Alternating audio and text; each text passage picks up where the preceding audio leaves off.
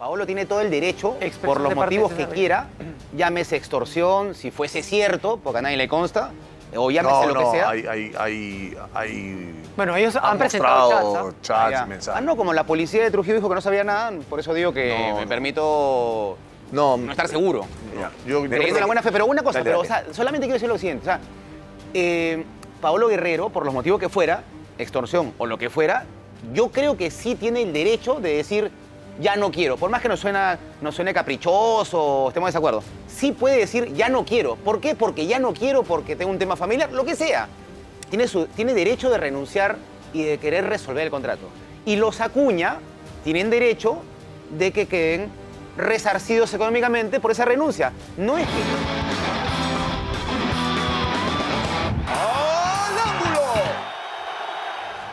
Que si la, la Vallejo, pero además se ha expresado como estos tipos, es la palabra que he usado, de la Vallejo no me libera, me voy a tener que retirar del fútbol.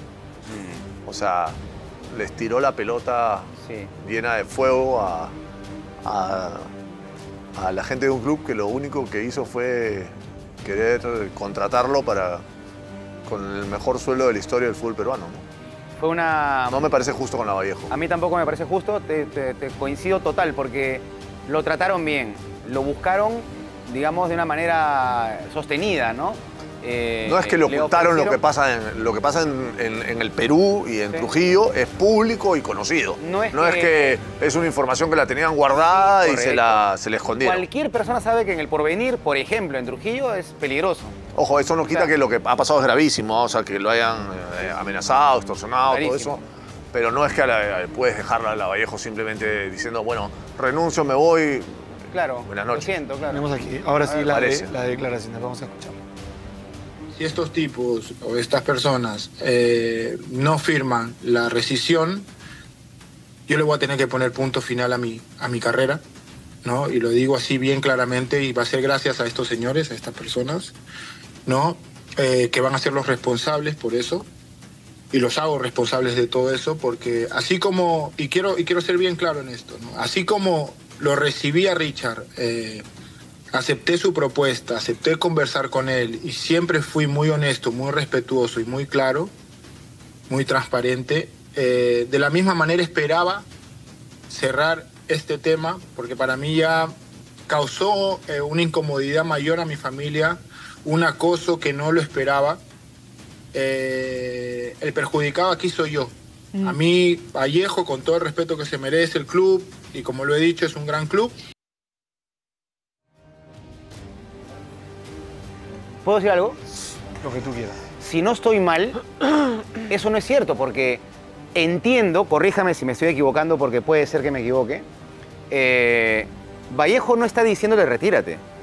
Entiendo que Vallejo le está pidiendo una indemnización por la resolución del contrato. No le está diciendo retírate, le está diciendo págame, ¿no? Eh, Yo entiendo, yo o entiendo sea, que... es lo que entiendo, ¿no? Es lo que entiendo. Yo entiendo, lo, entiendo. yo entiendo que lo último que ha dicho la Vallejo, al menos Richard Acuña, es que lo esperan el sábado. Sí, es oficial. Eh, eso, eso es oficial. Eso lo dijo en la tarde en la radio. Claro, claro, es oficial. Eso, es oficial. Lo que ha dicho, lo que ha querido interpreto yo decir Acuña es tus motivos los entendemos, aunque no creemos que sean lo suficientemente contundentes para que no cumplas tu contrato, porque te, po- te podemos dar la seguridad que necesitas. Claro, dale. A propósito de ello, no te vamos a obligar, pero hay Esperamos un segundo, Michael, que no tienes, no tienes el micrófono listo. Pasa, Reque, por favor. No importa que el, que el país te... te A ver, vea. entiendo, entiendo que lo que ha pasado ha sido eso, ¿no? Que cuando ha hablado, entiendo esto. Además, eh, y esto lo digo en base también a, lo- a la información que salió, eh, que dio este Julio García en zona mixta. Y es que en la tarde, cuando Richard Acuña dijo que lo esperaban el sábado a Paolo, en ese momento todavía no había recibido la carta de, Julio, de, de Paolo Guerrero. Y Julio García dice, probablemente todavía no la había leído, pero yo ya se la había enviado al correo electrónico. ¿Qué quiero decir con esto? Que ya la carta de renuncia de, de, de Paolo ya la recibieron. Después de eso, yo entiendo, no sé, a menos que Diego me, me, me contradiga, no ha habido una posterior... No, José, este, pero está bien. Paolo tiene todo el derecho, por los motivos que quiera, llámese extorsión, si fuese cierto, porque a nadie le consta, o No, llámese lo no, que sea. hay, hay, hay, hay- Bueno, ellos han presentado chats, ¿ah? mensajes. Ah, no, como la policía de Trujillo dijo que no sabía nada, por eso digo que No, me no. permito No, no estar seguro. Ya. Yo, yo- Pero es de la buena fe. Pero una cosa, Dale, pero, dale. o sea, solamente quiero decir lo siguiente. O sea, eh, Paolo Guerrero, por los motivos que fuera, extorsión o lo que fuera, yo creo que sí tiene el derecho de decir, ya no quiero. Por más que nos, suena, nos suene caprichoso, estemos de desacuerdo. Sí puede decir, ya no quiero. ¿Por qué? Porque ya no quiero, porque tengo un tema familiar, lo que sea. Tiene, tiene derecho de renunciar y de querer resolver el contrato. Y los Acuña tienen derecho de que queden resarcidos económicamente por esa renuncia. No es que yo renuncio, como ya lo dijo Julio García, y entonces libérame para que yo haga mi vida. No, no, no es así. Hay un contrato, yo renuncio, ¿tienes derecho? Sí. Ahora, yo tengo derecho de que yo de que tú me puedas resarcir económicamente. Sí, o claro. sea, págame. Si tú me pagas, yo te libero y vas a donde tú quieras. Claro, pero eso, es visto, pero eso es visto, obviamente, entiendo yo. A ver, eso podría ser visto desde el lugar de Paolo, ¿no? Ok, yo voy a renunciar y yo te voy a pagar lo que, lo que se, se establece en el contrato. Lo que pasa es que, y esto es algo que yo, eh, eh, digamos, entiendo por lo que ha expre- expresado Julio García, es que lo están planteando desde el lugar de la causal de fuerza mayor. Es, es- hay algo, o sea, que le imposibilita cumplir con el claro. contrato que él firmó. Sí, Lo que pasa es que ha- hay, hay varias cosas para, para tener en cuenta. Eh, sí, el proceso de renuncia tiene un trámite administrativo de 30 días. Eh, la premura, y estas son palabras de Julio. García... A menos que el club te exonere es el- a, menos que el club te exonere de eso. La premura, y esto lo dijo Julio García eh, a- partir de algo inexacto que dijo en la mañana, es todos los libros de pases cierran el 26 de febrero. No es exacto eso. El fútbol del Perú y de Uruguay cierra el 26 de febrero. Pero, por ejemplo, la MLS el está días hasta... también me parece. El de Venezuela también el Claro. 27, me parece. Eh, la MLS está abierto hasta abril, el fútbol ecuatoriano hasta el 31 de marzo, el fútbol chileno hasta el 8 de marzo. En Paraguay y Colombia hay, hay más tiempo. Cuando Julio García habló solamente del 26 de febrero, la interpretación que creo le da a Vallejo es que tienen premura porque quisieran jugar en el fútbol peruano. Y eso creo que es algo que la Vallejo no estaría dispuesto a aceptar. No estoy interpretando un poco lo que... No lo que- gratis, por lo menos. O no gratis. No gratis, O no porque gratis. si tú quieres ir a Alianza, Claro. entonces págame la- el resarcimiento Claro, pero y haz aparentemente, tu vida en pero Alianza. aparentemente el- si existe el interés de Alianza, que no está comprobado porque nadie de Alianza se ha manifestado oficialmente, Correcto. si existe el interés de Alianza no es comprándose un pleito ni asumiendo ningún costo económico sobre la operación. De todo lo que he escuchado en el día y, a- y pensando en la postura de la Vallejo, eh, que sigue hablando ahorita, o siguen hablando los protagonistas a esta hora, los de un lado y los del otro, es. No me parecen argumentos suficientemente contundentes para que no cumplas tu contrato, pese a que el hecho del seguimiento contigo de todo lo que ha ocurrido, y además tengo alguna duda de que sea el único motivo. Claro. Así interpreto las palabras o las explicaciones que da Richard Acuña. Porque para esto se tienen que poner de acuerdo el interno de Vallejo. No puede salir César Acuña decir una cosa y más tarde Richard Acuña con otra postura. Lo que está claro Eso es no- también- No, lo que pasa es que no los deja bien La parados, ¿no? declaración de Acuña Papá es una declaración política. Pero tienen que ponerse de acuerdo. Claro, Se contradicen. Claro, la- claro, pero- la declaración del hijo estar- es una declaración de, de- de dirigente de club. El otro es un político que dice, yo no Pero- me voy a cargar pero a lo- Pablo. pero lo que lo sí que está pasa ahí claro- es que les quita, les quita credibilidad a los dos. Pero es que lo cuando, que ya- Cuando no tienen una, una- una- un mismo mensaje. Pero lo que sí está claro es que ya no hay buenos términos, ¿no? No, ya Puedes no escuchar a Paolo no, y más temprano a Julio García, No, ya no hay no, buenos no. términos. En ese sentido ya hay una confrontación. Entonces, yo escuché que Julio García dijo, espero no equivocarme con lo que voy a decir, casi literalmente que, ok, Pablo renuncia, ¿no? Y lo único que necesitamos es que nos eximan de los 30 días, pero ellos reservan su derecho a hacer cualquier reclamo en el futuro. Claro, pero si pasa Sí, eso, eso dijo. si pasa eso, el club al que, que- en el que Por firme eso, Paolo ese es mi punto. asume solidariamente la responsabilidad sobre ese pasivo. exactamente. el ya. mejor ejemplo es lo de Cueva con, Con Santos. con Santos, Sí, claro, eh, que lo terminó pagando Pachuca. Sí. En el que Cueva jugó poco tiempo, pero Pachuca se vio con un problema de 4 millones de dólares que si no los pagaba, Y eso no, podía eso no va a contratar ocurrir. jugadores. Eso no va a ocurrir. Y lo terminó pagando. Eso no va a O sea, ocurrir. no, no sé cuál será el arreglo de Pachuca, de Pachuca y Cueva, si hubo o no un arreglo, pero lo, lo pagó. O sea, el club que contrate a Guerrero, y eso es, es, eh, real, aun cuando la Vallejo lo libere, asume una, un posible, este, una posible responsabilidad. Ahora sí, lo, lo, lo, lo, lo que ha pasado a la mamá de Pablo debe ser terrible, ¿no? Y mi empatía total para con ella. O sea, debe ser terrible Claro, sentirte de esa manera, ¿no? es- Es espantoso. al margen de y nadie lo discute y, y solidaridad ante esa presión horrible que es que amenazan a tu familia. Pero saliendo de eso, yendo a los papeles, porque este tema, Claro. Pablo está diciendo, eh, su tesis es, la Vallejo me quiere retirar. Es su tesis. Entonces, Claro. yendo a esa tesis, yo voy a lo siguiente. Tú tienes derecho a renunciar, como ya lo hiciste. Pero- a renunciar. Ahora, ellos tienen derecho a pedir un resarcimiento. Pero- acuerdo. pero Es el, así. el- el ejemplo es el de Cristal con Independiente y Cauterucho. Cauterucho, Independiente, por lo menos nos lo dijo, le debe sueldos y le debe premios. Esto en, en el mundo de- del, del fútbol de hoy, transcurrido un tiempo, te da derecho a liberarte del contrato. Tú ser jugador libre. Independiente le está reclamando 5 millones de dólares a Cauterucho. Y Cristal, al contratar a Cauterucho, se vuelve solidario sobre esa deuda, sobre esa posible deuda. Lo que pasa es que entiendo que Cristal ha tomado. que Cristal ha tomado las precauciones, ha estudiado el caso, los representantes de Cauterucho Sí, claro. o, o- o el doctor de Cauterucho les ha explicado la situación y probablemente No, la y con la tranquilidad con la que nos lo dijo Cauterucho. Además, Independiente ha perdido Casi todos. 15 casos en FIFA eh, parecidos. Pero la, la- la contingencia la tiene Cristal. Di que Cauterucho lo está recontra pagando con goles, eh, si fuera el caso. Pero eso es algo que a estas alturas, aún con Vallejo diciéndole, toma, toma la resolución, yo me reservo el, el derecho después a reclamar Sí, una- claro. una, indemnización. Eso no te lo quita nadie. Pero, pero, pero, ¿cómo, cómo, cómo? Aún Vallejo diciéndole, resuelvo el tema, tú te reservas el derecho después a reclamar. Si quieres, claro. si quieres. Claro, claro. O sea, nadie te, nadie te Claro. quita esa- ese, ese derecho a partir del contrato que tenías firmado. A ver, le ha hecho seguimiento a la Vallejo al tema. No es que se están enterando ahora, según las palabras de Acuña. Le han hecho un seguimiento, conociendo los, los detalles. Entiendo que han buscado autoridades. No sé si esto está registrado como una denuncia o no, pero que han buscado autoridades para que puedan interceder o acompañar el tema y darle la seguridad a Paolo. Y pese a todo este conocimiento, le están diciendo, no estoy de acuerdo con la decisión que estás tomando. Como Yo- diciéndole, el subtexto es, no es tan cierto que es así y no, Ahora, corres peligro. Una, No, una no, pregunta, no, no, no una pregunta, Michael. cierto, esta, no, esta parte sino no, esto es manejable. esta parte no la tengo tan clara. El- en Alianza no han dicho nada, ¿no? No han dicho... Ni van a decir. Ni van a decir.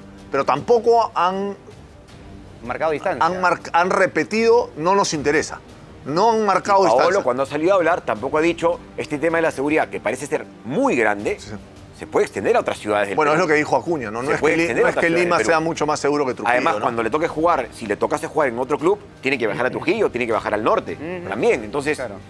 pareciera que al ser tan grande el tema, si son tan repetidas las amenazas, y esto es lamentable, porque escuché un argumento, ¿por qué no lo hizo al inicio? Porque quizás al inicio pensó que era más manejable y recibió más y más y más amenazas Sí. y se intensificó el tema. Si se intensificó, puede ser que la inseguridad no solamente esté en Trujillo, con respecto a Pablo, sino en lugares cercanos también. Lo que, lo que- en a- lo que cualquier no le encontré mucho sentido es que lo involucre a Cueva.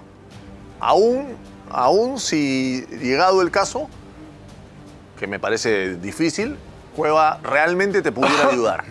Me pareció inoportuno e innecesario Que lo, que lo haya mencionado. que lo haya mencionado. Porque en todo caso, si fuera cierto que Cueva lo puede ayudar, que no, que me parecería que Que Cueva- Cueva aparece en todas las fotos, ¿no? Claro, La foto, o sea, en la foto claro. de acá, de Si allá, los de allá. Acuña, que son las autoridades de Trujillo, no te pueden garantizar nada, que Cueva lo pueda hacer, ya me parecería de casi, Yo- yo lo que casi percibo, increíble. ¿no? Pero Lo si que encima ¿no? un amigo te está haciendo un favor, lo, lo pones en.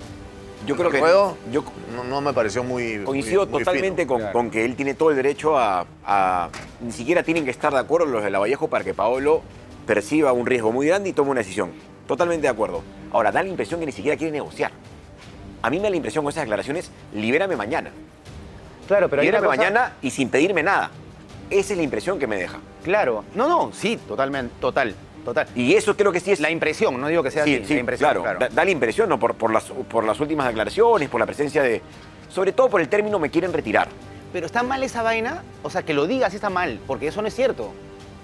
Eso, por eso decía, desmiéntanme si es mentira. O sea, él tiene derecho de renunciar, ya lo hizo. La Vallejo tiene derecho A pedir una indemnización. a pedir una indemnización Na- na- que además está en el contrato, tengo entendido. Nadie lo obligó a firmar Nadie lo obligó. Entonces, en ese escenario, si tú no quisieras pagar la indemnización, el que se retira del fútbol eres tú. El que se retira eres tú. No es que la Vallejo lo retira. La Vallejo le dice, por lo que entiendo, págame, yo te libero. En, esto- fija en estos de repente le eso dice, no lo, eso no lo ha llegado a decir, ¿ah? No, Ah, no. pues salvo que lo haya dicho en la noche Acuña y yo no sepa. ¿Qué ha habrán dicho lo de- hablado? Acuña lo que dijo, hablado que no han dicho lo que dice José es, es exacto. Acuña lo que dijo en la tarde es yo no tengo ninguna comunicación oficial. Exacto. Y después lo que Eh, Julio y- García eh, ha dicho es que la comunicación oficial En ese momento le ese tendría que haber llegado y él había- Pero dio a entender que dijo, hemos hecho esta inversión, dio a entender que había un perjuicio económico en el medio, ¿no? Más allá del sueldo de Además Paolo, mencionó ¿no? también el tema de los Sí, auspiciadores. claro. De los auspiciadores. No, y aparte, aguanta, aguanta. Y aparte, el perjuicio de los auspiciadores que han metido una inversión y la a partir de que Pablo llega Y la expectativa, ¿no? y la expectativa, y hay un perjuicio a la imagen. Y eso es intangible. O sea, me has, has perjudicado mi imagen. ¿Has visto cuando te demandan? O sea, cuando hay una demanda por por, daños y eh, perjuicios. por daños y perjuicios. ¿cuánto? Bueno, eso es cuantificable dependiendo de cómo lo plantees y puedes establecer 100, 1000, 1500. Eso depende, eso se puede hablar.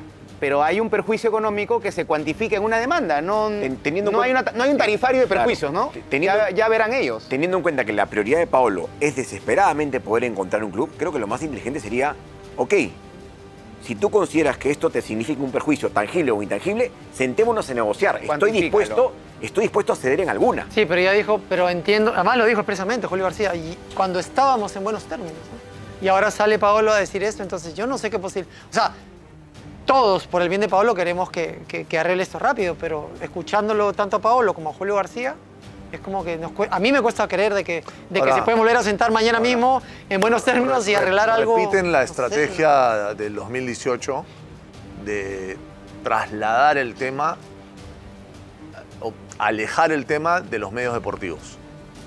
Es la misma estrategia que utilizó el abogado de Paolo en el 2018. Exactamente la misma.